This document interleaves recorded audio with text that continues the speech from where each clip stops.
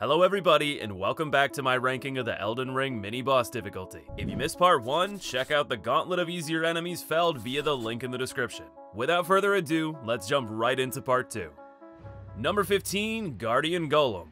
By the time I found the mini-boss edition, I'd faced these a dozen times throughout the overworld. Simply be an ankle biter and dodge its mighty blows, easy peasy. Or it would be if its strikes didn't have gargantuan hitboxes. An example being the slam into the ground, then pull up for a painful AoE. This dungeon variant was one I missed in Limgrave, so I'm sure it would have been tougher had I found it early on. I'm sure you were even more troubled if you stumbled upon the trap chest sending you to the Divine Bridge Golem, scaled at capital level strength. I did fight plenty of these on par with my current level enough to respect their damage, the Great Bow variants that have god tier aim, their sizable HP, and their moderate resistance to being knocked down even if you do pummel their ankles.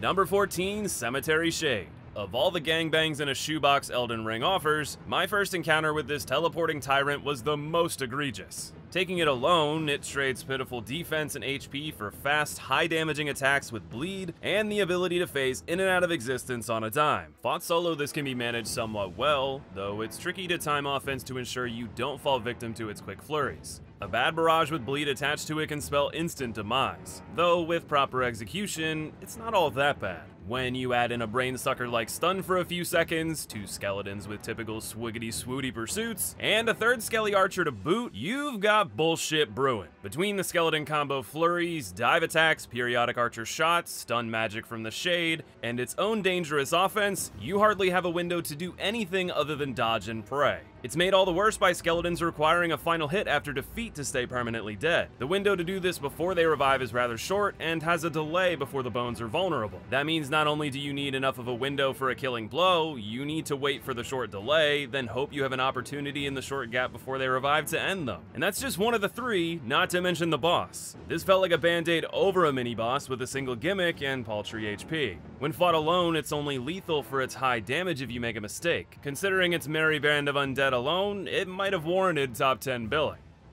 Number 13, Alecto Black Knife Ringleader. Blistering speed has never looked so effortless. Alecto's glides in and out of range appear almost supernatural. It works against your favor when he blinks away, but it is a boon if you can time a perfect poke as he dashes back in. These exchanges are key since his agility lets him recover from staggered blows. His combos are lengthy, which is balanced by some solid openings. His best is his slam into the ground, with him chillin' for a bit afterward. The grab is another, though that does require adept evasion. The attacks to truly fear are his Maliketh moves, using range slices and a burst of them up close to burn through your HP. This active battle asks you to find attentive balance between momentary lulls, then snaps into non-stop action. Far and away the most demanding mini-boss so far, Alecto signals an upward spike in difficulty. Number 12, Ancient Hero of Zamor. There's a reason these don't appear as standard enemies until an endgame area. While my Great Club plus 8 and swap to a Great Axe plus 3 got reasonable stagger and damage, I was getting destroyed in spite of my endgame stats. These Zamorian warriors have a wide array of combos with hardly any downtime between hits then has the speed to dash out of range before you can counter. While its AoE burst, forward breath, and ice tornado aren't deadly alone, it's the slow buildup of frostbite that layers harsher damage on you in league with the fearsome combos. You can block sure, but that lets Frost build. While some attack strings leave barely any room for you to safely dodge between blows, let alone get your offense in. I imagine if I had faced the mini-boss variant early on, I would have been devastated. Even with my own high stats, the ancient hero lived up to the threat its later brethren pose in the mountaintops. Before you venture into the frozen wasteland, consider taking advantage of today's sponsor, Khimyra, to dress for the occasion. Like your finest fashion souls, Khimyra uses only premium materials, inspecting each carefully and handpicking the best of the best. They've got some sick graphic tees, hoodies, jackets, and God's gift to lower body comfort, joggers. Personally, I love the idea of rocking the moon man while we embrace the coming age of stars. Khimyra has lightning fast shipping and satisfaction guaranteed with a full refund policy in 30 days, no questions asked. Their pricing is competitive with top-notch brands with equal or better quality, and they're offering 10% right now on any orders using the coupon code theDeModcracy. Check them out via the link in the description. Big thanks to Khimyra for sponsoring today's video, and thank you for listening.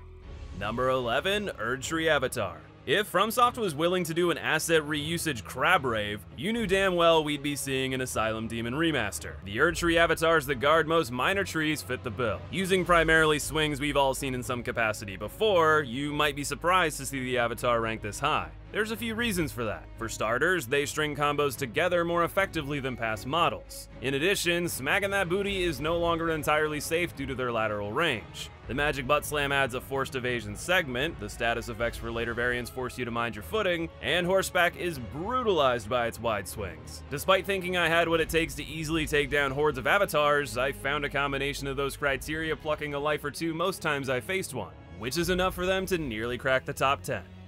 Number 10, Abductor Virgins. My only encounter against a mini-boss variant of these terrifying trappers was a duo bout. As a solo endeavor, they're quite imposing. Featuring pizza cutters or cleavers, these Iron Maidens have incredible range, potent damage, insane closing speed, high defense, and a grab to be wary of up close. That grab is your chance of big damage if dodged correctly, as the innards take far greater damage, but that counter is quite scary to pull off. When you're hardly prepared for trouble and making it double, good luck protecting yourself from abducted devastation. These tyrants were one of the most fearsome standard foes you could find in the wild. The only reason the duo battle doesn't rank higher is their mixed passivity. It seemed the Cleaver Abductor was comfortable fighting from range, while the Pizza Cutter Edition attempted closer assaults. If they had both been all-out offense, you'd be in for a world of hurt. While you can avoid some of that pain, there's still plenty to go around anytime you encounter an abductor.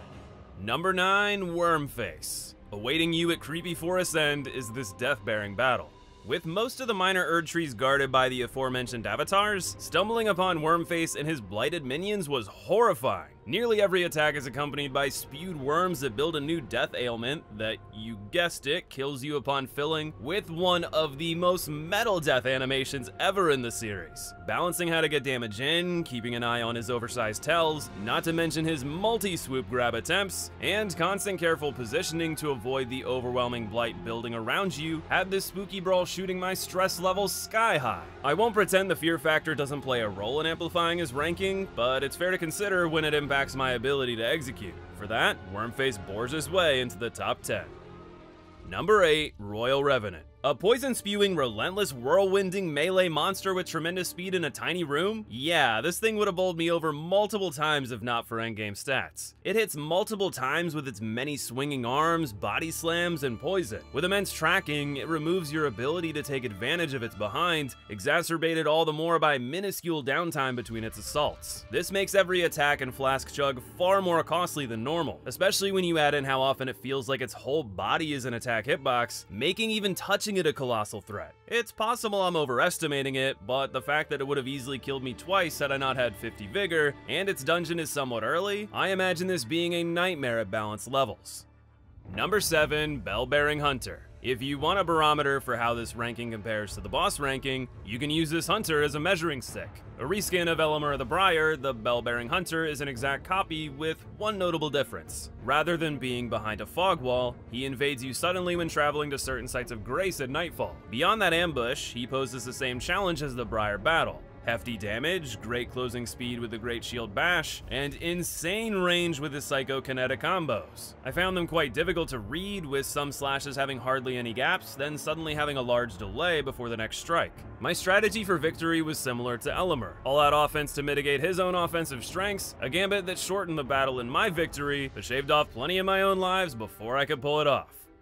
Number 6, Deathbird. With how many times this nocturnal bird can appear throughout the world, I'm surprised I only found it twice. Those two battles were enough for me to understand why it's called Deathbird. Serving it up on demand, this monster and its rolling bird fetuses love to stagger lock you into a world of pain. The Deathbird's aggression is quite high for a foe receiving help from allies, though I do believe its earlier battles I missed are mono-e-mono. Even when its allies go down, its range is immense, making horseback without iframes fairly tough. It turned into a gripping battle of attrition that I won sheerly due to level. That was not the case in the mountaintops, where a variant with added magic assaults showed how painful its blows can be. Even when I fought on foot, the front was rarely safe due to raining pecks down from the head. Whether up close or afar, it has an answer at every range to put pressure on you. It makes getting your offense in difficult even when you use Torrent to quickly close the gap. A balance kit worthy of a nod just outside the top 5. Number 5, Grafted Scion. I'm happy to see the return of the one-shot pass or fail tutorial boss with a reward. It's especially neat that you can use an imbued key in the four belfries to get back there at a stronger level so the reward isn't completely time-gated. Even if I love that design choice. I hate this wombo combo slinging Scion. It easily trounced me in the tutorial. When I encountered it later in Stormveil Castle and Mount Gelmir, my added experience and build didn't really matter. It still sliced and diced me with ease. I had more resources to outlast the Battle of Attrition, but I still didn't feel like I actually won. Without a doubt, if there's a single mini-boss I didn't feel like I actually learned to fight, it's the Scion. The only real winning method I used was to recognize which unending flurry with insane range it's about to unleash, run away, then swoop in for a quick joust, and bail. Sure, you could roll through or block everything, but that won't be happening in the tutorial without flawless execution. If you do want to do it early, I recommend the Samurai. It has enough arrows with the power of Mighty Shot to take it down from range. That I need to resort to such tactics to have a chance shows how much I struggled with the Scion. An easy choice for a top 5 with tremendous difficulty. Number 4, Crucible Knight. Speaking of early game challenges, sticking this guy in the first ever jail a lot of players will stumble upon was brutal. With HP, defense, and damage scaled well beyond what newer players could feasibly handle, Crucible Knight's crusade is noob stomping. Not that veterans are safe, Though his design does rely heavily on the Silver Knights, he has plenty of shakeups to surprise longtime players. While having all the advantages of those knights such as delayed attack delivery, massive range and damage, and strong poise, he adds in magical tail slaps during what appear to be openings. This can happen during normal combos or after his flight, after which he mixes up the surprise further with two spins in a row, the second having huge range. If you fight him up close without adept evasion and masterful stamina management, you'll meet certain defeat. You can parry if you're bold enough, though the risk is quite high. I settled for baiting combos and shield bashes while poking away. A coward strategy to be sure, but one that worked. Later fighting the spear variant with even greater range, magical thrusts, and slams, I had to get good when it came to dodging and countering. That well prepared me for their duo battle, one that I did find very tough, but surprisingly not insanely so. Their regular appearance throughout the game honed my skills against them, a testament to how study of enemy patterns and mastery of them becomes forged into the player over time. Even if I eventually reach that nirvana, my first experience against Crucible Knight was a beating I won't soon forget. Number 3, Tree Sentinel. With Grafted Scion Swift Victory and Soldier of Godrick being the human embodiment of a whoopee cushion, the first true gauntlet of difficulty most players will face is the Tree Sentinel. Like Crucible Knight, despite his early appearance, his HP, attack, and defensive power seem scaled to be fought after more exploration. I, of course, said nonsense and attacked him immediately like I'm sure a lot of players did. Despite practice in the network test months ago, he still smacked me around for nearly a dozen deaths with that halberd. He features everything you'll come to fear about Elden Ring's bosses. Early tells with delayed, quick deliveries, huge range, high speed, a wide variety of combos, and even utility that makes certain builds suffer. In his case, the Great Shield can be used to block magic, a brutal counter with so little FP early on. Not to mention, choosing an Astrologer, Prisoner, or Confessor will lead to one-shots from some attacks with the lower vigor. There are plenty more chances to fight variants over the course of the game, each with their own new wrinkles such as ranged lightning magic, or gank variants that are more absurd in action than our duo of Crucible Knights. That's putting aside the two magical copies that stand in as greater foes. Much like Crucible Knight, my experience paid off in the end. Even so, the early beatdowns are hard to forget. Number 2, Blackblade Kindred. Another boss variant spread throughout the world as a mini-boss and even a basic enemy, these Black Blades are every bit as ominous as their valiant counterparts trading in the poison passivity for a constant onslaught of offense, losing those moments of reprieve arguably makes fighting them individually tougher. That's also putting aside that in every instance I encountered one, their overall stats were scaled well beyond what the gargoyles offer. You do at least get the opportunity to fight on Torrent, though their wide swipes are likely to knock you on foot before long. That and certain attacks almost demand iframes or blocking to have a chance at survival. Looking at you, Twin Blade Whirlwind. Due to their wings and size, their ability to close the gap is instantaneous, along with blows that'll reach you even if you try to bail on horseback. I found that getting your own offense in aggressively was key due to how inconsistent I was at avoiding their damage. Without a doubt, it's the mini-boss encounter I feared the most anytime I stumbled upon them in my journey. That is, with the exception of my choice for the number one hardest boss in Elden Ring, Falling Star Beast. Falling Beast Parl over here without the paper limbs is a rodeo that ravaged me without end. It has speed on par with the fastest enemies in the game, hitboxes with an insane radius, making being anywhere near it almost always unsafe, and magical assaults and giant tail slaps with rock spam to follow, making any range dangerous. My inability to find proper openings against Falling Star is on par with some of the hardest encounters in the entire game. No matter when I would try to attack, it always seemed as if the gap was too small and I would get walloped in return. It takes reduced damage anywhere other than the head, but for a melee build, it holds it too high for a lot of attacks to hit. Admittedly, I underutilized jump attacks in my first playthrough, so perhaps that was the answer. If it was, I'm still not sure when I would have pulled them off. I felt there were hardly any opportunities for regular light attacks, let alone leaping into its face in range of its pincers. I thought horseback would be a big advantage when I encountered it on Mount Gelmir, but it turns out attacks like the tail swipe demand iframes and were hard to read in time to hop off the horse and safely dodge. So instead of just me getting clobbered, me and Torrent got demolished, leaving regular occasions for more punishment as I sat on the ground like a turtle contemplating my life decisions. Compared only to the grafted Scion, this is a mini-boss I have no real answer for other than sloppy offense and enough resources to outlive its punishment. For beating me senseless time and time again without any answer for future battles, this beast of difficulty is easily my choice for the hardest mini-boss in Elden Ring. But of course, that's just my opinion. Which of these felled enemies gave you the most trouble? Let us know in the comments below. Subscribe to stay tuned for quality boss rankings and community rankings soon to come. And of course, I want to thank you for watching today. Much love to you, and I'll see you in the next video.